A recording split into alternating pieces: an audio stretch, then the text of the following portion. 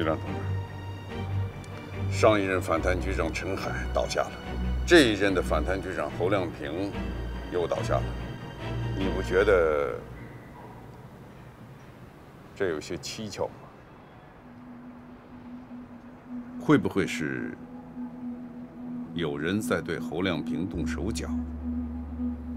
刚开始我也是这么想的，可是转而一想，这个侯亮平的腐败，绝不是在他上任后的三个月里，是早就发生了，早在五年前就发生了。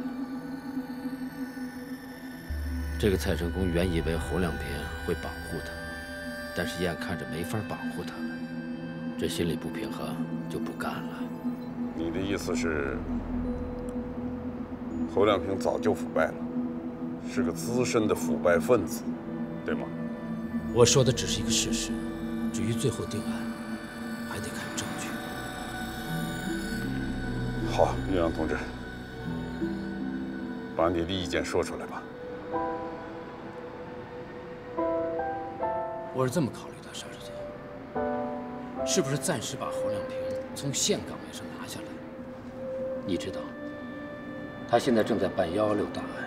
而该案的主要嫌疑人丁义珍，和他还有生意上的往来，这怎么可以？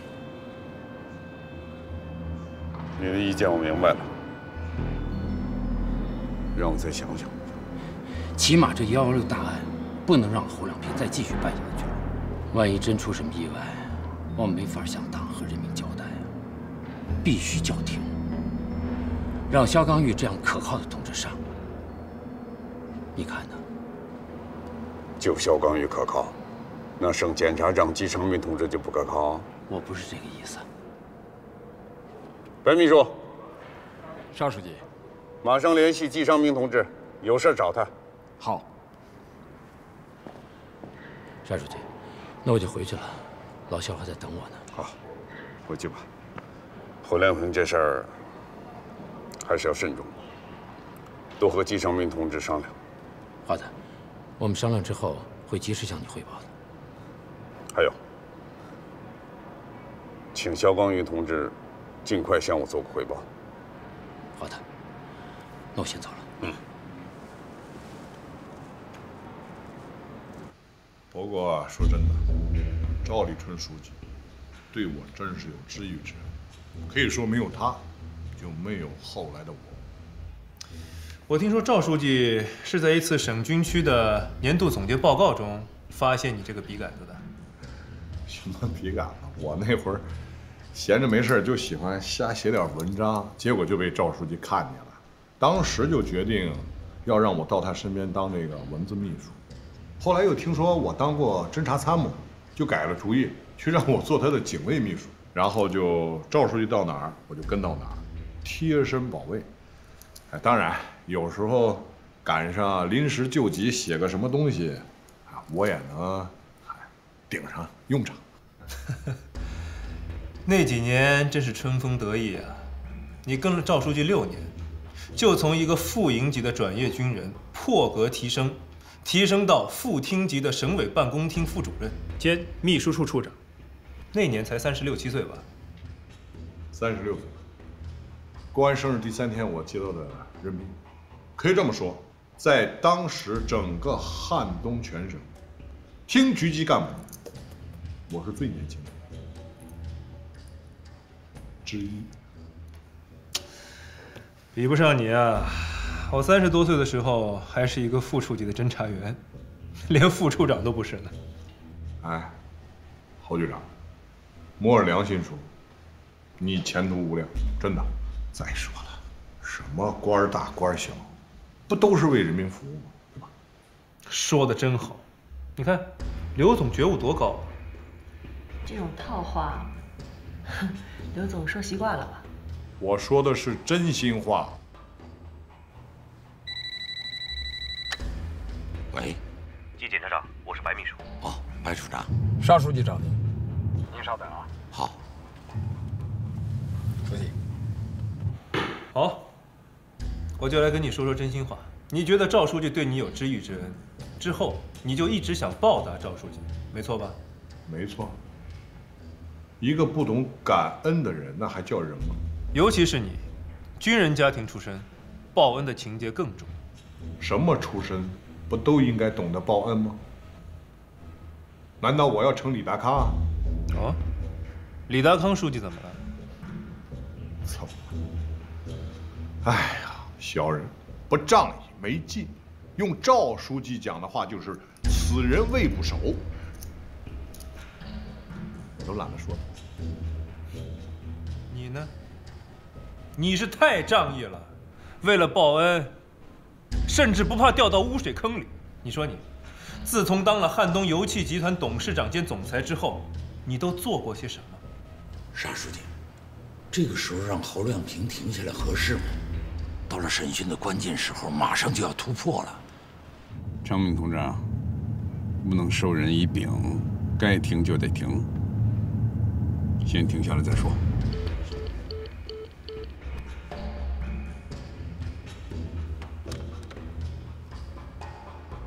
是不是让侯亮平停止审讯？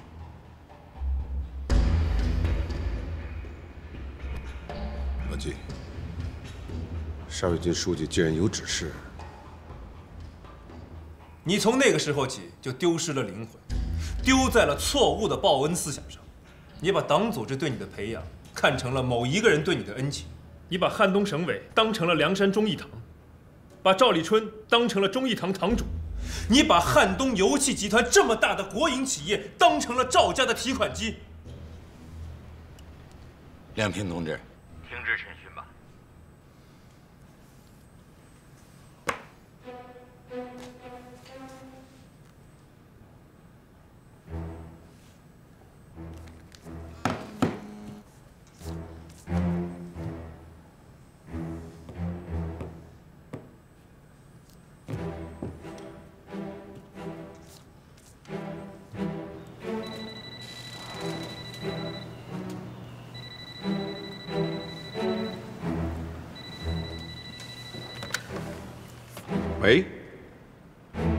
是高书记啊，老季他他不在，他刚出去。刘新建的审讯，哦，老季让停止了。老林啊，你马上找到季长明，让他到我省委办公室来一趟，我有重要的事情跟他商量。好，好，高书记，呃，我这就去找。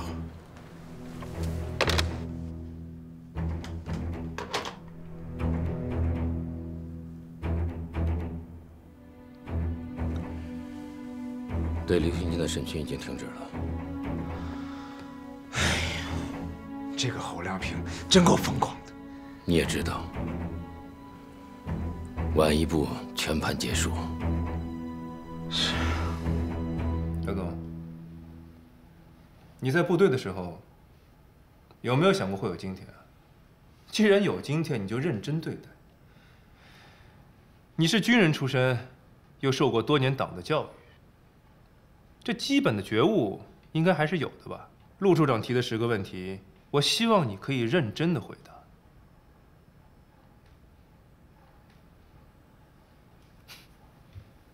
不想说，讲哥们儿义气是吧？哥们儿义气害死人呢。我告诉你，你再讲哥们儿义气，可你那些哥们儿一个个都盼着你死，你相信吗？不相信。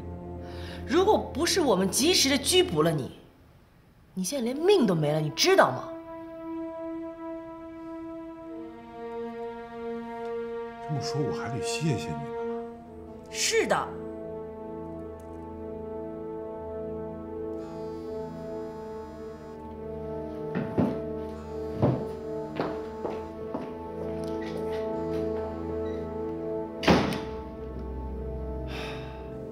金厂长，你都看见了，现在情况很好，刘新建有希望被我们突破。我建议再坚持一下。检察长，就一个小时好不好？不行，半个小时，只能给你们半个小时。这，这是出了什么事儿吗？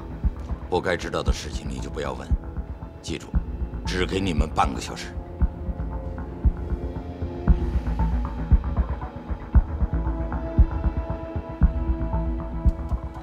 老李，我现在就去见高一良书记，这儿交给你掌握。半个小时之后，让侯亮平停止审讯，到我办公室等我。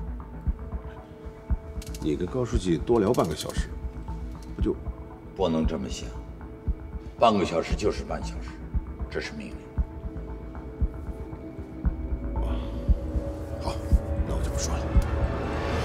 刘总，是不是还在做梦呢？梦想着去非洲和丁义珍一起开金矿？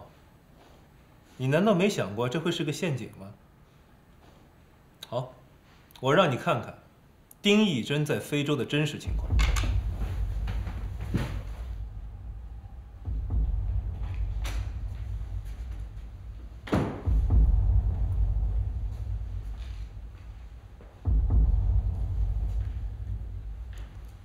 这是我们追逃小组从非洲发回来的。丁义珍出逃非洲某国一个月之内，他买了那个集装箱和枪支之后，还是遭遇抢劫。那具尸体是丁义珍的同伙，一个比丁义珍早三年出逃的国企老板。啊，你如果早点去那儿，说不定还能赶上这场枪战呢。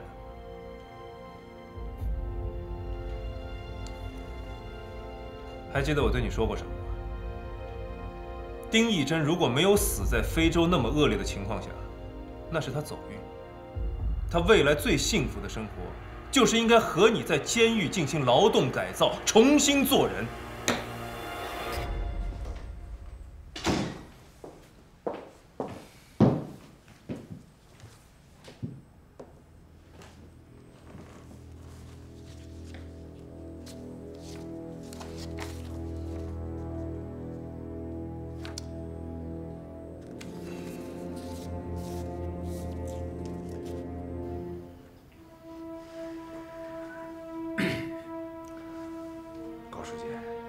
心里还是不踏实。你说有没有这种可能性呢？季昌明他不敢乱来，侯亮平他保不齐啊。应该这么想问题啊。这个学生我了解，就是啊，他晚上要坚持审讯刘新建的话，刘新建肯定扛不住啊。这样，老肖，你用不着等在这儿向季昌明汇报了，你马上到省检察院监督执行，要确保侯亮平停止对刘新建的审讯。好的。另外，你准备一份详细的资料，我准备向沙瑞金直接汇报。我马上去办。小艾嘛，我是老季呀，啊，你好你好，在家呢吧？我跟你说个事儿啊，亮平被人实名举报了，省委决定让他停职反省，接受调查。你说什么？亮平被人举报了，还停职了？遇到这样的事儿啊，要冷静，沉住气。首先，我们要相信党，相信组织。你了解我，也要相信我这个亮平的直接领导人嘛。三个月前，亮平在北京还是一位优秀的侦查处长，怎么到你们汉东当了三个月的反贪局长，查个幺幺六的案子，就出问题了啊？哎，对了，我想请问一下，这是不是一个叫祁同伟的公安厅长举报的呀？不，我可以告诉你，不是他。但具体是谁举报的，我不能告诉你，请你理解。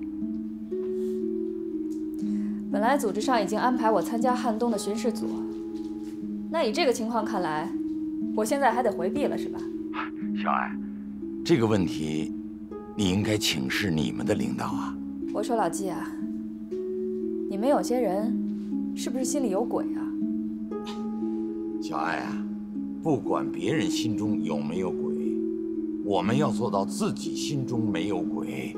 我还是那句话，要相信他，相信组织。小艾，我觉着这三个月呀，亮平在汉东工作非常紧张，没日没夜的，身体啊非常的疲惫。现在一让他停止工作呀，反而可以让他休息休息，睡睡觉，调理调理身体。哎，是啊，这就相当于说。前方正在打仗，你却偏让他撤下来睡觉，哎，你说他睡得着吗？睡不着也得睡呀。好了，我还有事儿，就说到这儿吧。小艾，有什么事儿随时跟我打电话。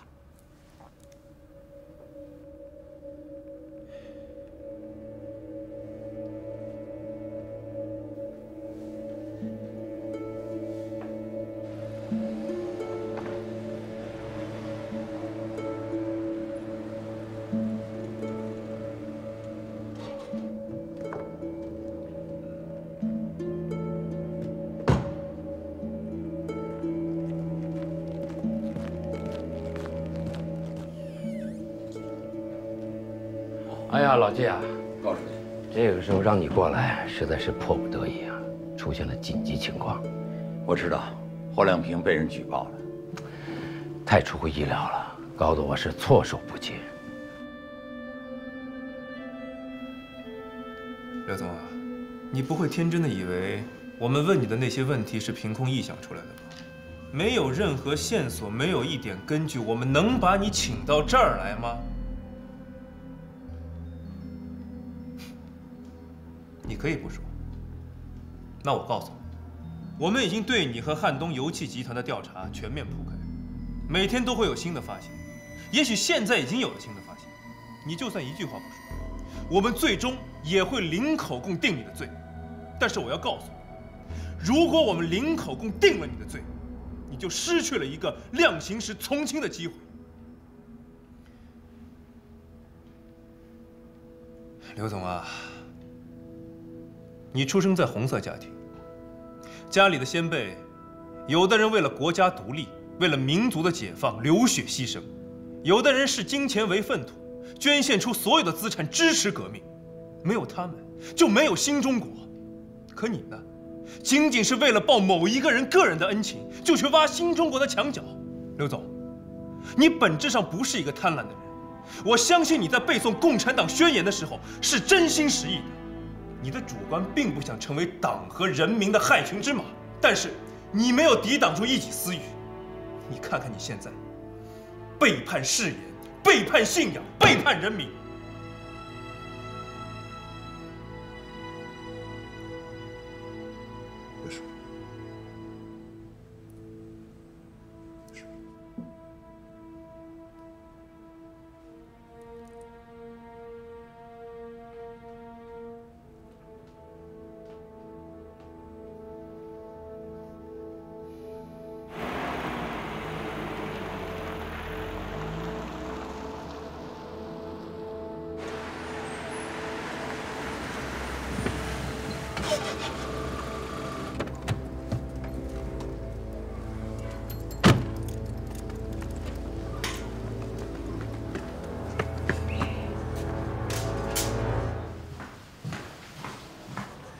请您登个记。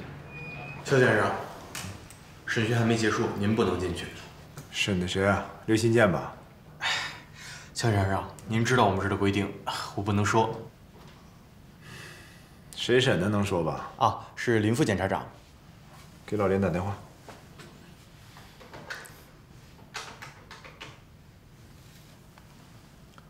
喂，老林啊，我肖刚玉。肖检察长，哼，你怎么这个时候过来了？我还有十几分钟就结束了。你现在会客室等一下。你审的谁啊？刘新建吧？哪来的刘新建啊？刘新建老纪让抓的。啊，我正在审一个渎职侵权的案子，马上就完事儿了啊！马上啊！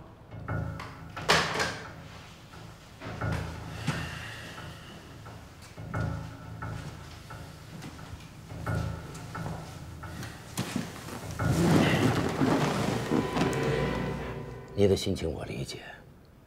侯亮平是你的部下，那也是我的学生嘛。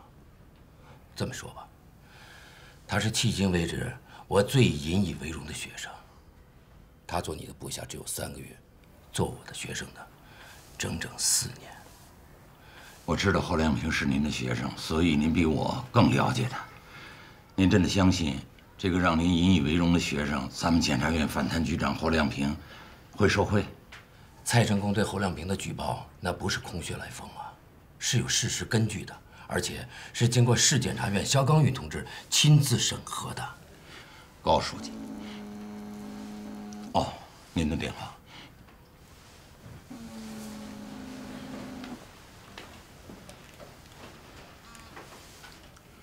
老肖，你说，高书记，审讯指挥中心我进不去啊。这林副检察长审的是谁？啊我知道了。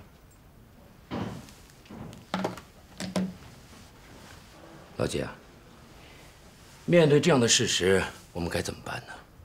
能手软吗？不能，就是挥泪斩马谡也得斩呐。你想想看，侯亮平面对李大康的老婆欧阳菁，是怎么做的？铁面无私。他铁面无私也是向您这位老师学习。您就是一位懂政治规矩的领导干部，就是要讲政治规矩，要懂得原则，对吧？哦，对了，这个侯亮平现在在干什么呢？他能干什么呀？撤下来了。哦，这会儿也许在返回检察院的路上吧。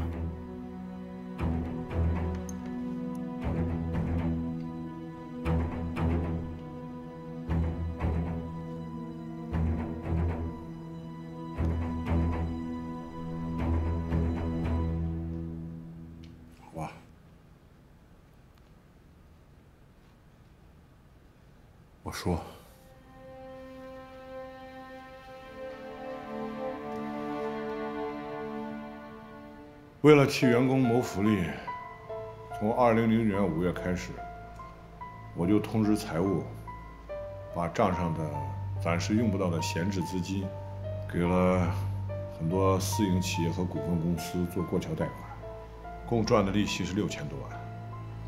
除了给了一些企业员工以外，剩下的，我和一些高管都分了。肖检察长，目标没出来，估计他们的审讯还没有结束。你们是不是来晚了？没有没有，肖检察长，我们在这等了都快一个小时了。好，我知道了。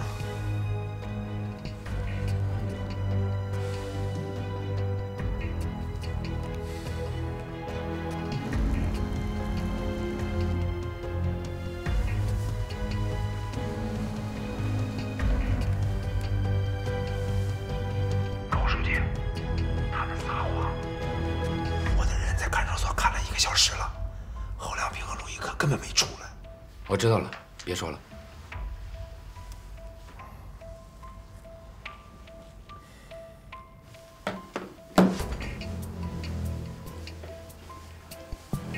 程明同志，你是政法战线的老同志了，思想敏锐，有原则，尤其是在关键时刻是很讲党性的。高书记，您别说了，我听着像是要给我致悼词。您有什么话直说吧。那好，那你告诉我，为什么到现在还没有把侯亮平撤下来？你明知道他有问题，很可能涉嫌犯罪，出了事儿，这谁负责？沙书记跟你打过招呼吗？你还让他带病在岗，这沙书记没跟你打过招呼。说实话，我就怕你下不了手，所以当面向沙书记做了一个简要的汇报。高书记，我真不知道您这番话从何说起。接到沙书记电话之后，我立即停止了侯亮平的工作。那你告诉我，为什么到现在侯亮平还没从看守所出来？不可能！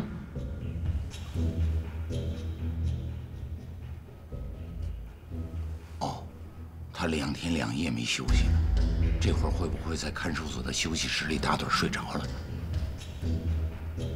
那你给他打个电话。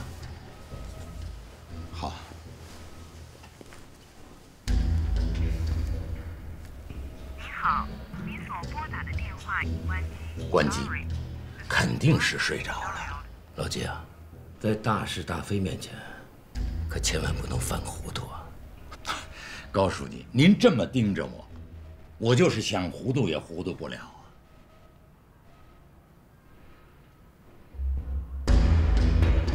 那好，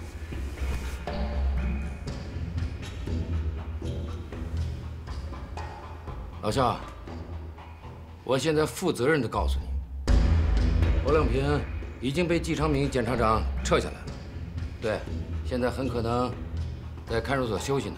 你们不要着急，就在那等着。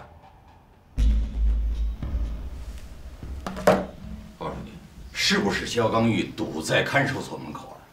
如果真是这样的话，我建议你们省委做个决定，我来执行，把侯亮平关进监狱。你这叫什么话？嗯、哎。能不能冷静一点？小丁吗，去进看守所，不管侯亮平干什么，把他找出来。肖检察长，我们来的时候没有办手续，暂时还进不了看守所。你怎么能犯这种错误呢？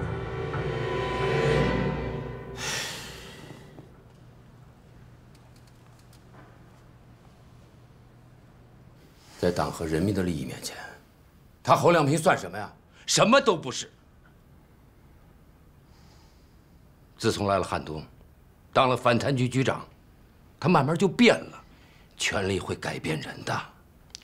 高书记，蔡成功是什么人？我了解，我绝不会相信他的举报。而且侯亮平刚来咱们汉东还不到三个月呢，那就让我们调查清楚了。如果没有问题，还他一个清白吗？我不同意，我不同意现在立案，特别是在这个时候。如果您要坚持，那好，那就把我们彼此的意见上报省委，请沙书记做出决定。另外，我也要告诉您，高书记。关于侯亮平的事情，我会向最高人民检察院作出详细报告。可以。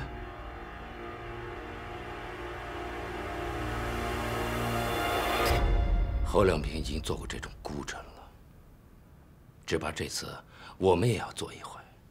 不管我们内心有多痛苦，我实话告诉你，现在我这颗心呢，就一阵阵绞痛。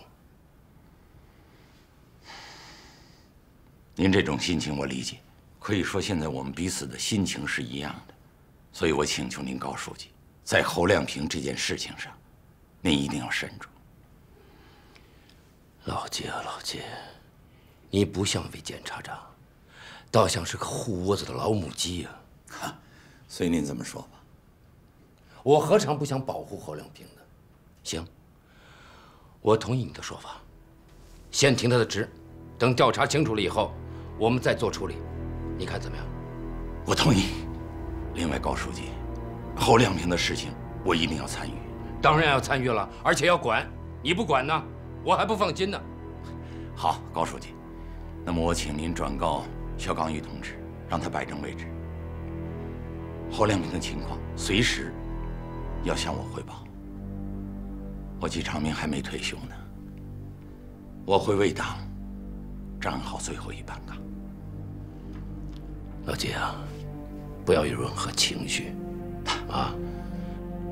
再说了，你也是肖钢宇同志的老领导了，对老肖你还不了解吗？我对他太了解了。好，高书记，那先这样。好。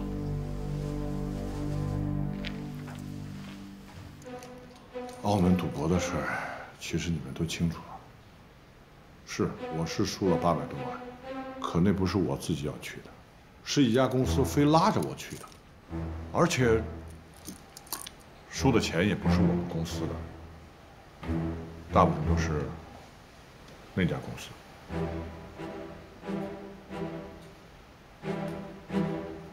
就这些，别的我没什么好说的。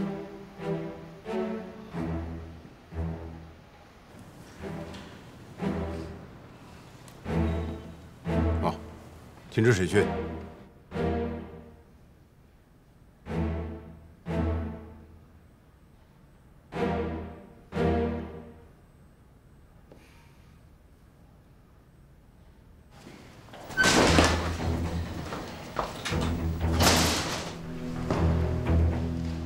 老林啊，终于是审完了。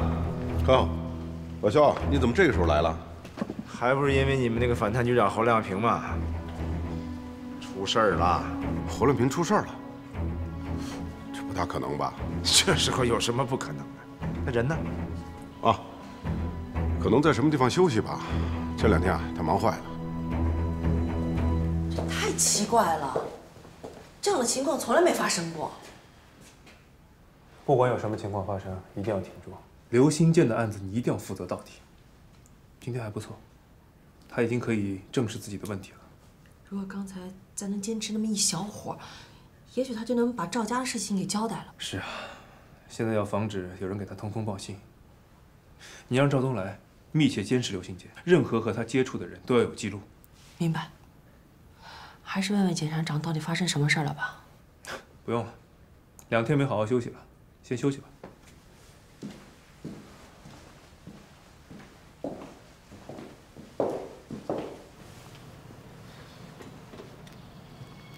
哎，老肖，你寻摸什么呢？啊，侯亮平的人不在这儿啊。哦，我知道，我们市检察院的人在看守所门口盯着他呢，可他没出来呀，所以我就很奇怪啊。哦，对了，老肖，你们市检察院对侯亮平立案了？啊，那倒没有，省院都没立案，我们能立案吗？但是我呀，怕他畏罪潜逃，你知道吧？他那个同伙丁义珍，不是已经畏罪潜逃了吗？他在潜逃怎么办呢？什么？他都成了丁义珍的同伙了？你看，我也不相信啊，可偏偏这就是事实。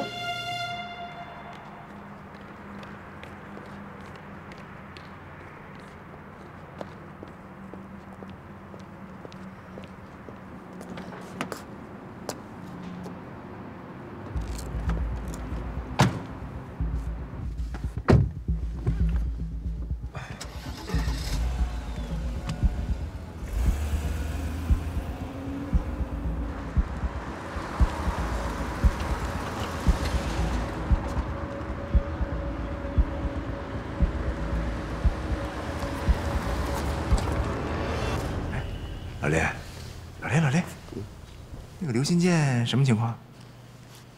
你怎么对刘新建这么关心啊？我关心他干什么？现在侯亮平涉嫌腐败，我担心他把案子审坏了。一般啊，重要的审讯，季检察长都亲自在指挥中心盯着，谁也不能乱来。行了，老肖，你回去吧，我们也快下班了。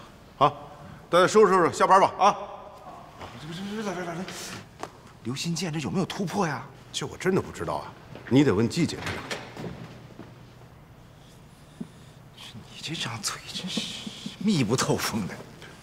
走了。啊，好，我不送了啊。哎呀，小艾，你消息够灵通的呀！我被停职反省，我自己都不知道，你倒先知道了，你顺风耳啊你！侯亮平啊，这都什么时候了，你还开玩笑呢？你这回麻烦大了，你知不知道？我知道，人家不都明说了吗？想弄死我的人啊，不下一打二。所以啊，你可千万别轻敌。人家能让你一个反贪局长停职，说明人家手里有东西。至于是什么东西，你自己真得好好想想。哎呀，我在想呢，这估计啊，和蔡成功有关。就是你那个发小对吧？哎，我是不是警告过你少跟他啰嗦？贪腐的口子通常就是从这种发小、同学、老朋友那儿打开的。哎呦，小艾啊，都这个时候了，能不能别再对我进行廉政教育了？你知道的，我不可能收他东西的。你怎么没收过呀？你收了他一瓶茅台，我当时就批评你们来着，你还记不记得？我说钟主任呐，组织上总不会因为这一瓶茅台酒和咱们儿子那几个溜溜球就让我停职反省吧？那人家要说你收了他好几箱呢，或者人家说你收了他钱呢？行了行了，别再为这事烦我了。我不是给你添乱，我呀是怕有人拿蔡成功给你做局。这还用你提醒啊？我早就想到了。我刚到汉东的时候，他们就有个说法：我若是让他们一部分人先哭起来，他们肯定会让我的哭相很难看。现在陈海还躺在医院里，案子还没破。你要是再让人给装进去，不只是对不起我和儿子，你也对不起你这位老同学。老婆，我要是破不了这个局，我提头来见。行了吧你，你有几个头？实在不行，你就去找陈岩石汇报。必要的时候，他能直接向沙瑞金书记反映。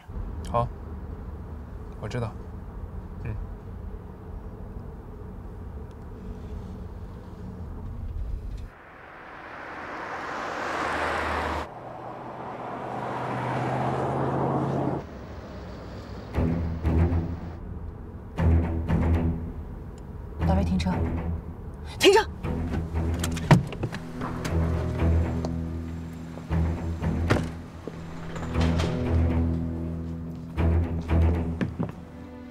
三更的跟踪我干嘛？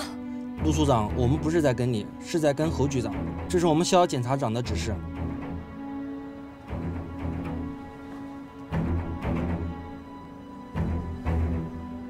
检察长，荆州市院的肖检察长派辆警车跟踪我们。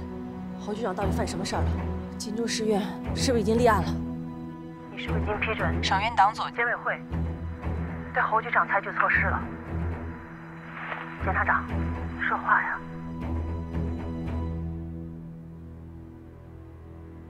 你说话呀！你如果没有批准的话，就叫他们滚蛋！还让不让人活了？行了，少说两句。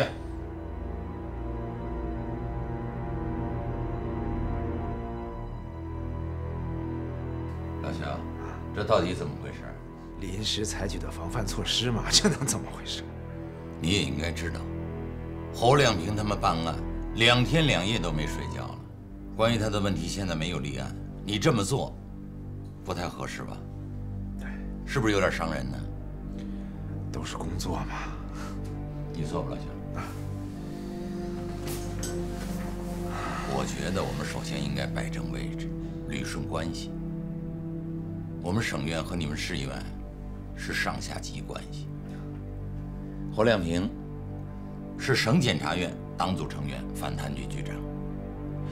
不管他犯了多么严重的错误，也不管你拿的是谁的尚方宝剑，事先总得跟我这检察长打声招呼吧。老季，程序我是懂的，我这不向您汇报来了吗？材料我都带来了。来，您看。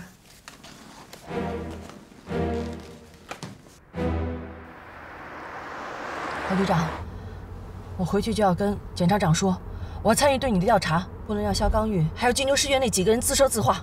你胡说什么呢？你好好办刘新建的案子，不要分心。那你怎么办？就让他们挖坑给埋了。谁也埋不了我。真的假不了，假的真不了。我不做亏心事，不怕鬼叫门。他们这么做，恰巧说明我们的方向是对的。他们？肖刚玉会是他们吗？谁知道呢？这个人对我那么感兴趣，反倒是引起了我的兴趣。停职的时候，我有的是时间，我倒要好好研究研究他。不行，他们太过分了。我得向咱们主管领导好好反映反映。你别去找他。你觉得肖刚玉能有这么大的能量吗？高玉良书记，我小姨夫。你想想吧，咱们的吴法官为什么那么讨厌你的小姨夫？总说他是笑面虎。你以为是心理不平衡，发牢骚，还是更年期啊？你回去跟你妈好好聊聊，恐怕就知道没这么简单了。看来我真不是一个孝顺闺女，是该回去跟吴法官好好谈谈了。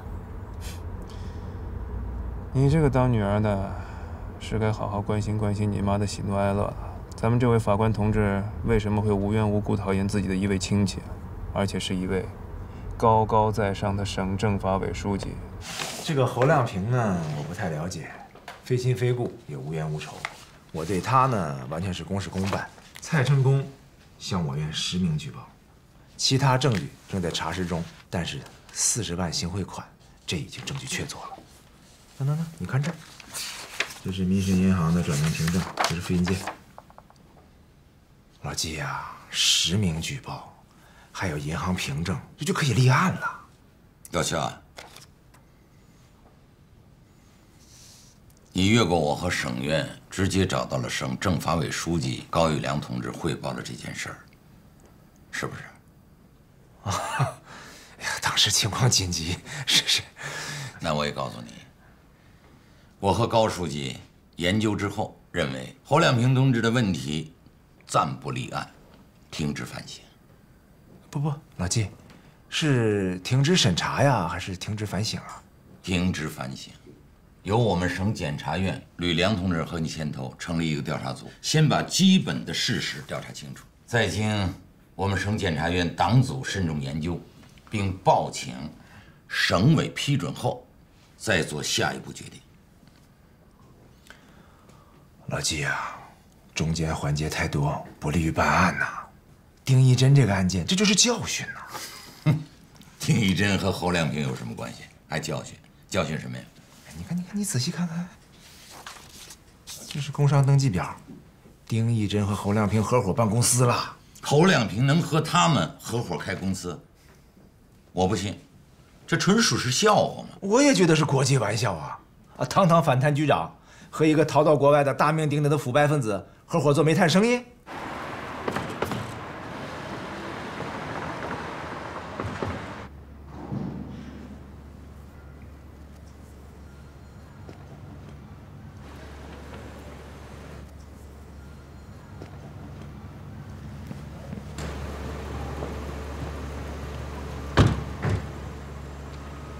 侯局长，季检察长在办公室等你呢。